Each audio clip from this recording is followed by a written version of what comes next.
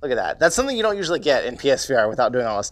You can't usually see your controller sitting on the ground and just grab them. Like, usually put them on the ground and they are gone. Here we go, look at that. We got very little hand wobble, very little. Green lights make a big difference. I can drop all the way down here and go all Boondock Saints style on them. And I can actually use my cover. See how much easier it is to kill people, kids, when your tracking actually works? Hey brats, welcome back to the channel and today we are talking about PSVR tracking.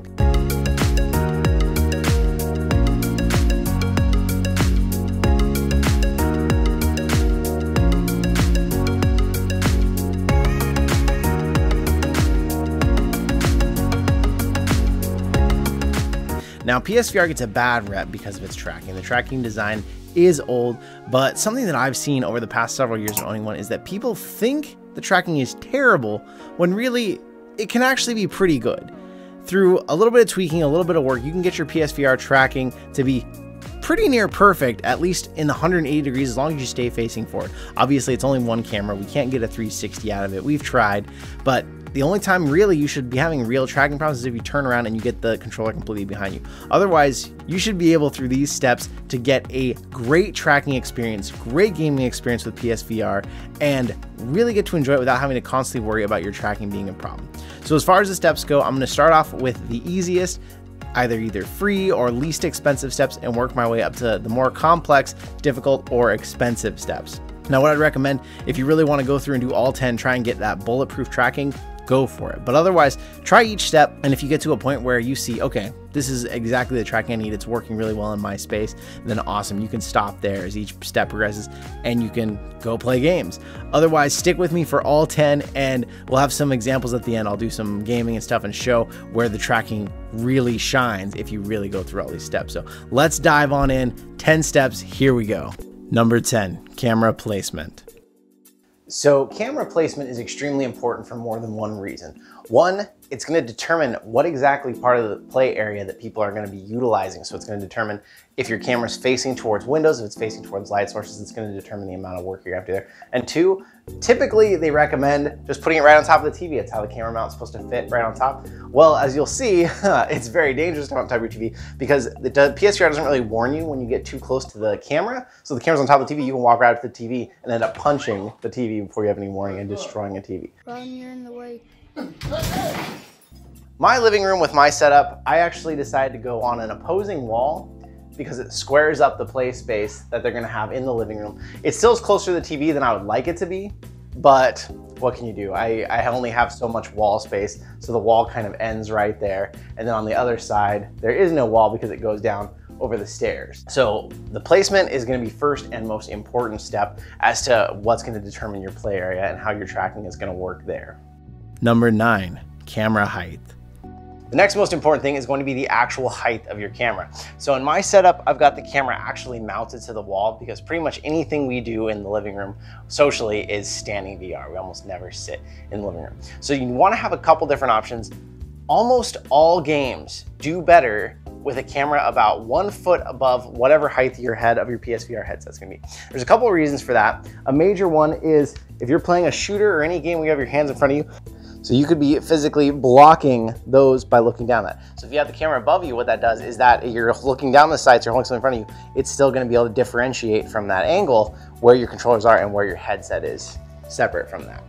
The other reason that camera height is really important to have slightly above you is when my experience, almost all games work better with the camera slightly above you due to tracking and it gives it more coverage. So it can see down, it can actually see if you're crouching down, you're reaching down with the controllers. Instead of having it head on, you only have this small frame if you reach down. If it's looking down at you, you can actually reach down and grab something off the ground.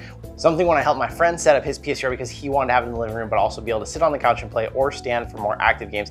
He had a selfie stick. This is actually a GoPro stick, but same principle here. He had an old selfie stick and what we did, his TV is a lot lower than mine. It's on a normal stand, it's not on this high one we mounted the selfie stick behind the TV. And then that way, what you could do is you could lift up your camera to where it was up above the TV for standing. You could lower it just down to TV height for when you were sitting playing, and then when you weren't playing at all, you could actually push that out of you and it would hide completely behind the TV. So most people probably have an old selfie stick laying around they have never used or never will use. It actually can be a really good purpose for an old selfie stick to repurpose it Number eight, clean your camera. After all this handling of the camera, one, the next most important step, just clean those lenses. Once you have it where you want it to be, make sure you wipe those off. The included PSVR cleaning cloth is great, any lint-free sort of glasses cleaning cloth, because if you left any sort of greasy fingerprints on there, you're gonna risk new tracking issues you didn't even have before. Number seven, cover your windows. Now the next step here, we're gonna actually start assessing what our environment is like for tracking. So hold the PlayStation button, when you have your PSVR already turned on, go to adjust PlayStation VR and confirm your position. Now this takes it into a negative screen where you can actually see where light sources are coming from. So you wanna make sure, usually even just blinds aren't gonna be enough. I use blinds and curtains to get rid of all the light coming in. So now we're gonna wanna go around, we're gonna wanna cover up any sort of windows, any heavy sources of light, and make sure they're no longer showing up on the screen to the best of our ability.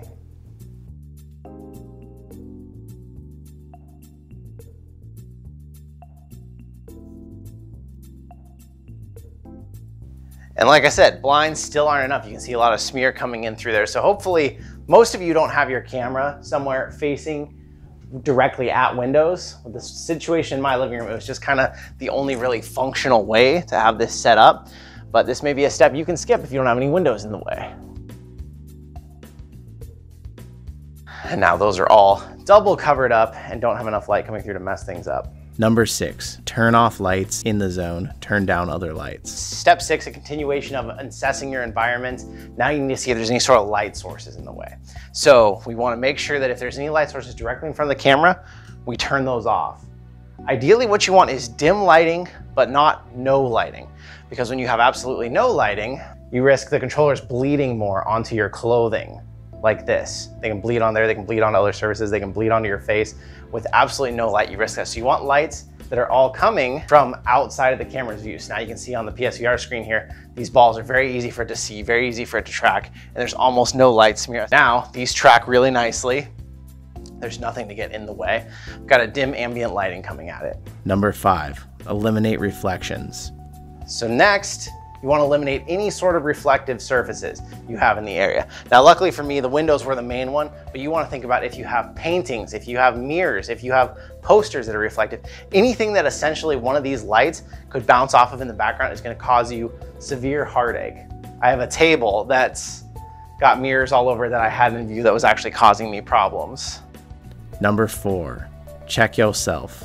Now this one's a really random one, but it's come up enough on Reddit that people have seen a lot of real problems with this. So you need to think about what clothes you're using. This was a shirt sleeveless shirt that I like to play Beat Saber in because I get hot and sweaty and this wick moisture oil, but it has a very reflective fabric to it. And when I was playing, I noticed that my tracking would wobble more and I'd have more issues with that. So think about what clothes you're wearing. If they're something that you see is reflective on camera or you just notice it casts a lot of light back off of it, it could actually be causing a problem. So think about what you're wearing. I know it's really random and weird one, but a lot of people have found they were wearing something that messed it up, you know, especially if you have something with jewels all over the front of it. I know I love to play Beat Saber while bejeweled so, hey, more power to you if that's causing you tracking problems, but stop wearing your jewels and that might actually help with your tracking. Number three, floor mat. Now, if you get out of the zone, you're obviously gonna lose tracking. So a really important step here is to find a mat that works for you. It can be a thick rug, it can be a yoga mat, it could be interlocking blocks that I'll show you what I typically use here, or there's some really cool options online uh, they're not cheap, but there's some cool ones because they not only show you where your play space is, but they have a grid on it so you can feel when you're facing forward, which is especially important for PSVR since you can't turn all the way around. What I've got here for this purpose, I've got some green interlocking mats here. And what you wanna do is you wanna set those in your play space and then test whether, whether I'm anywhere on this mat, will I be able to reach up, bend down, grab items, and not lose tracking. So even right there, it's a little forward, I wanna be able to reach down and not lose tracking when I touch. This mat's gonna help me face forward too, because at least with this one, it has a tighter edge at the front. And typically what I do when I play on like this is I'll just hang my toes off the very edge or my heels off the back. And then that way it's easy to stay face forward the way direction that I should be for the camera. Number two, full recalibration. Before we get into this, I want to say a quick thank you to PSVR Frank's old channel before he basically retired and went to work with uh, First Contact. He put up this method, which does seem to make a big difference with tracking. So basically, the PSVR is one of the few or only VR systems out there that uses light tracking. To program in the light tracking, you have to calibrate it into the camera. It can make a big difference as far as what kind of performance you're going to see because most likely if you ever first set this up, you're probably holding the PSVR, it wasn't fully stable and it can change the experience for you. So I'm going to take you through the steps on how to recalibrate this fully and what's going to actually make that difference. So once you have your PlayStation and your PSVR turned on, you need to go up in the main menu to Settings. From Settings, you're going to go down to Devices. Devices, you're going to go to PlayStation VR. And then in PlayStation VR, you're going to go down to Adjust Tracking Lights. then VR Headset. And this is going to tell you do not put the VR on the VR headset, hold it in your hands. Something that's actually important to note here the way that we're going to try and do this tracking method is we're going to try and have this completely still and in the frame. So, depending on where you have your camera set up, this may be more difficult for some of you than for others. For me, I had to use my huge stuffed giraffe to get it up close enough to the camera. This method, when it was originally found out, it was said you could do this anywhere with your camera and then move your camera after.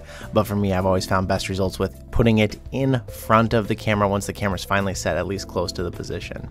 So you can see here I put a sticky note over one of the lights so that it doesn't start tracking it until I have it completely ready and in position. And it does take quite a bit of adjusting if you're using something soft and flexible like I am to try and get it exactly right. What you want to have happen is once everything's in and tracked, you're going to take off whatever you've done to obstruct one of the lights. I've used a sticky note here just on the front to obstruct the light so that it won't start tracking until I'm ready for it to. And then once the lights are all in the zone, you pull that off it tracks. And this is the part that's really important. You want it to move on to step two and continue tracking without you having to move the headset again. That perfectly still tracking is what's really important. And then it's going to ask you to turn the headset 90 degrees. If you have this on a table or something, it's going to be easier to turn it 90 degrees in the same spot and it should just work. Or for me, it had to take quite a bit of adjusting to get it at just the right angle since it was on top of a, chair, a giraffe, which was also on top of chairs to reach the camera. And then once you've got it in the perfect spot, same thing, remove that sticky note and then it's going to track all those lights the back two lights are kind of difficult. They can take quite a bit of adjusting to get them just right in the spot and then pull that sticky note off and let it track.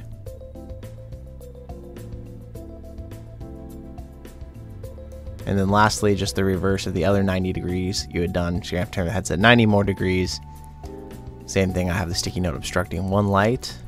And then once you get it in place, you can pull that sticky note off and finish up your tracking. Now your camera understands how to fully track your headset. It's all recalibrated and ready to move on to the very final step here if you're still seeing some tracking issues. Number one, switch your lighting. Very last step here and almost tuned, changing the color of your lighting. This is something that I've seen come up numerous times on Reddit and on other places before I try, finally tried it myself. People said either extremely yellow or green lighting because None of the tracking uses those colors. The tracking is typically red and purple, pinkish, whatever you want to say. Uh, on the aim controller, it it doesn't use that. The headset, it's all blue. It doesn't use green lighting. So I can confirm from numerous times when I've forgotten to switch my lighting over, this is probably the biggest help in tracking. It's also potentially the most expensive depending on how you want to do it. If you just buy a few easy green light bulbs at the store, they're usually three or four dollars a piece, and put those in some of your lights, great. For me, I needed my living room to still be livable, but also be able to do this. So I got Philips Hue bulbs. I got a crazy deal on them after my parents had given me a gift card. So I switched my lighting over to green and it adds enough light that I don't get the reflective problems on my clothes like I'm saying, but it does seem to make a huge difference as far as tracking goes. I can walk all over, I can play games and I don't lose tracking. It's it's incredible. So that is my absolute top recommendation as far as making a difference for playing PSVR in your space. Let's play a game or two real quick. Let's see how we're doing with tracking here.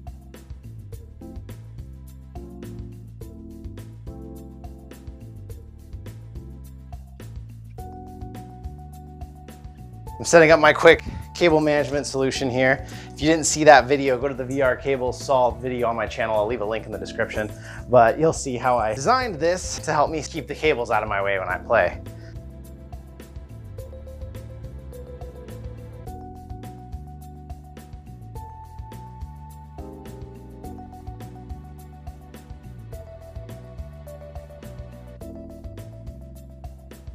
Look at that. That's something you don't usually get in PSVR without doing all this. You can't usually see your controller sitting on the ground and just grab them.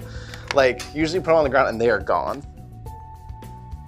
One thing it's not necessarily gonna help your tracking a ton, but it's gonna help your overall gaming experience is get your cables out of the way. If you missed the cable management solution video I did where I explained how I built this tower that keeps the cable suspended, check it out. So the reason I wanted to play some Superhot is because it's the one everybody talks about how bad the tracking is and how it's hard to reach around and get everything. So here we go, look at that. We got very little hand wobble, very little. I'm telling you, the green lights make a big difference. And super hot, super hot.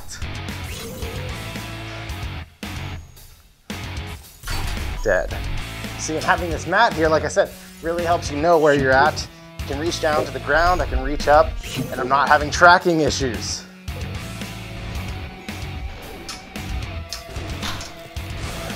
And I got no cables on me.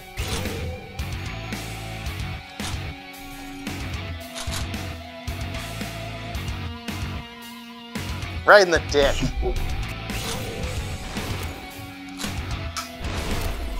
Oh, step back, dodge the punch.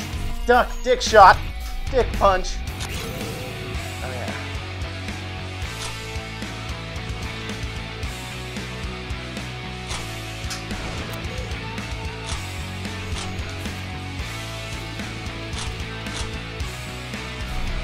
Yeah, dead.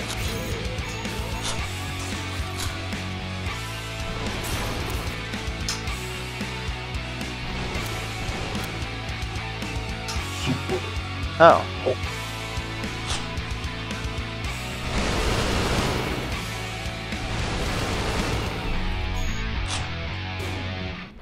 Yep, hitting the dick. You didn't expect that, did you?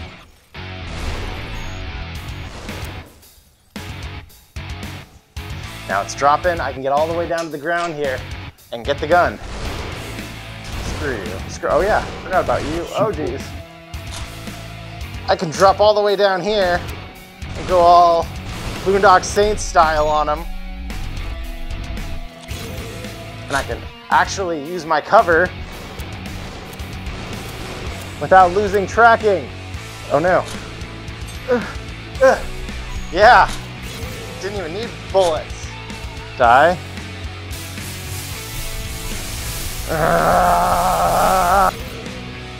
No. Shot in the dick. Uh-oh. Ninja block. Ninja block. Ninja block.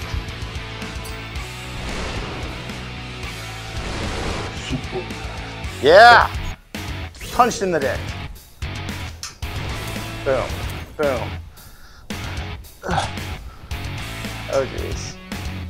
This looks like a problem. Boom, boom, boom. Yeah. Is that gonna get him? Yes! Headshot! See how much easier it is to kill people, kids, when your tracking actually works? Stop it. Stop it.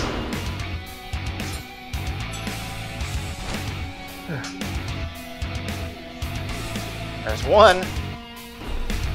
Boom. Ah, game is so great. I can just keep playing it.